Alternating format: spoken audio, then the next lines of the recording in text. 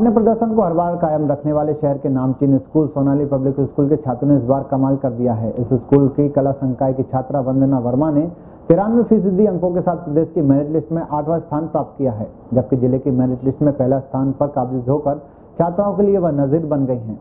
उनके इस प्रदर्शन से स्कूल प्रबंधन काफ़ी प्रफुल्लित है। जैसे उसकी मेरिट लिस्ट में नाम आने की जानकारी सामने आई सिर्फ़ परिजन ही नहीं, बल्कि प्राचार्य नवनीत इस्लामबा भी खुशी से झूम उठे।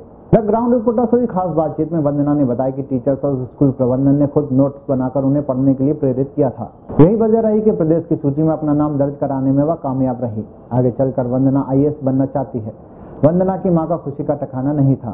इस खुशी को ज़ाहिर करते समय उनकी आँखें छलक पड़ी। इस दौरान न सिर्फ़ वंदना की माँ बल्कि स्कूल के प्राचार्य नवनीत लांबा भी छात्रा पर गर्व करते हुए फूले नहीं समाये। इसके अलावा सोनाली स्कूल की सिमोन जैन ने नवासी फ़ीसदी और आकांक्षा ओझा ने सत्तासी फ़ीसदी अंक हासिल कर टॉप थ्री में जगह बनाई है। आप भी कर लो।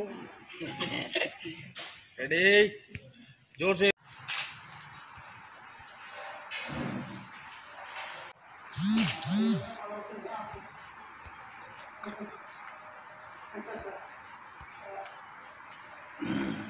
बहुत अच्छा लग रहा है। मेहनत का नतीजा मिल रहा है तो बहुत अच्छा लग रहा है। मेरे मम्मी पापा और टीचर्स जी। उन्होंने भी आपके साथ मेहनत करी है। जी मुझे पढ़ाने में उन्होंने बहुत मेहनत की है।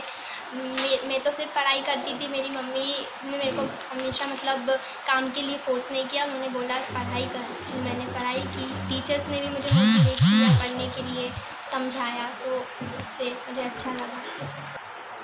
नहीं मेरी मेहनत के हिसाब से मुझे अच्छा मिला है।